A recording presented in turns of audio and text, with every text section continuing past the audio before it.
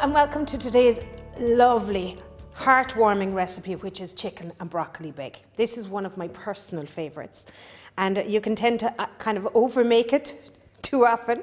But anyway, let's just see what's in store. So we have some chicken. I have chicken fillets that I have cut into chunks. I like mine nice and chunky and I've poached it just in some water. Not even seasoned, just some plain water. Now the secret of this recipe is the stock. Okay, so we have our chicken, which we've poached in the water. I also have some broccoli florets, which I'm going to poach next. Then I have some uh, double cream, some breadcrumbs, some uh, parmesan cheese, and I also have some roux. Now, roux is something that we use in cooking to thicken sauces, and it's a nicer way than using maybe a corn flour or any other thickener. It's made by equal amounts of butter, which is melted in a pan, and then adding the same amount of flour. And this is something that you blend together, cook off for one minute, and you'll have that and you can keep that for ever and ever and ever in the fridge. So you'll just be using a little bit of that at the very end to thicken the sauce.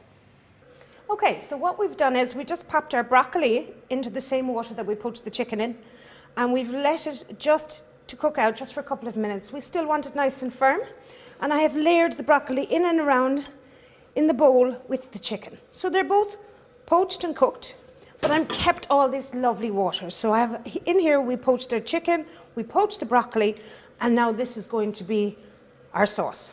So to this, I'm going to add some of the roux. We mentioned that this is made with butter and flour, and this is going to add a nice loveliness. So I'm just going to take about a teaspoon of roux and I'm going to sprinkle it in. And as I sprinkle that is really important, we go in with a whisk and we get it moving. The importance here is that we let it cook out and then we add a little bit at a time. So once it hits the water and the heat, the flour will start expanding and it'll start cooking away and thickening what is going to be our sauce. So I can see the little bursts, the little bursts of uh, flour in there. They take a few minutes. So I can tell that I'm going to need another little bit, and probably another teaspoon, I would say. Can be a little bit hard to break up, so don't be afraid to just kind of crumble it in your hands over the pot. So there you go. And again, keep stirring. You'll see it starts foaming up. That's the butter and the flour reacting together, and that's exactly what we want. Keep whisking, nice high heat. Don't leave it. It'll be worth it.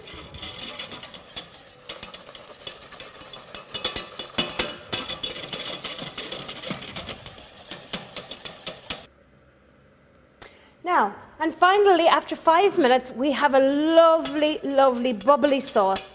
All that roux has melted into it and it's nice. You can see all those lovely bubbles. So now we're going to just finish this off with a little bit of double cream. Again, just adding that extra little bit of goodness. A little bit of double cream. We won't use single cream because that would split in our hot sauce. So again, I am just, and now look at that lovely glaze that it gives it. So creamy, so beautiful. Off the heat, and here we have all our ingredients ready to receive it. So here we go. Get rid of this here. And now I'm simply just going to pour this in. Obviously, we're using a heat-proof bowl. And I'm just going to fill that up with goodness. It's so nice. And around, and you can see it coming up the sides. Mm. Now, we're simply going to add some Parmesan cheese to some breadcrumbs.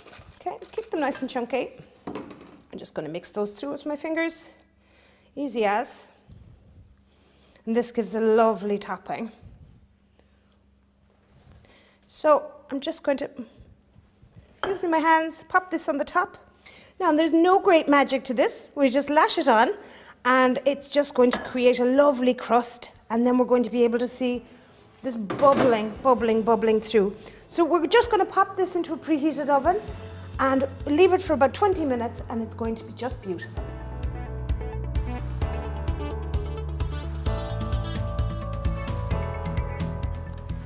Now here we have our beautiful chicken and broccoli bake. You can see that it's lovely and crisp and golden. You can see it bubbling up the sides.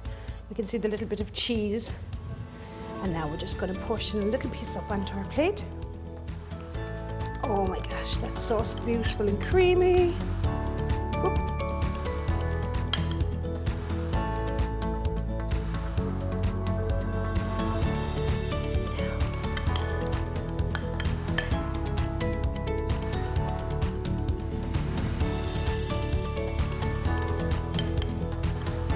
Broccoli.